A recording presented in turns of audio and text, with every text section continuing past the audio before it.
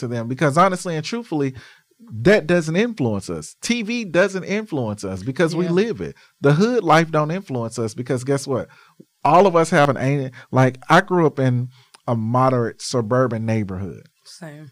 but my aunties and uncles lived in the hood, and so it, it- we laugh about it now because it's certain words or terminologies that my family members use, and I'd be like, "Ah, I don't know what they mean. They'd be like, boy, you just green.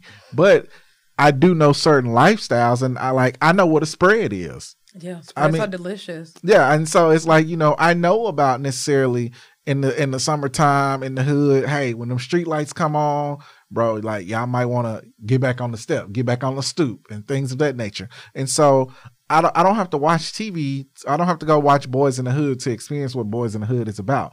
Like I've seen a dead body, I've seen people getting shot, I've seen uh, racial profiling firsthand. Uh, I've lived in that, not only living in the suburbs, but being in the summertime, going to the hood. And so I know about, you know, everybody sleeping in one room in the house because it's only a two bedroom house.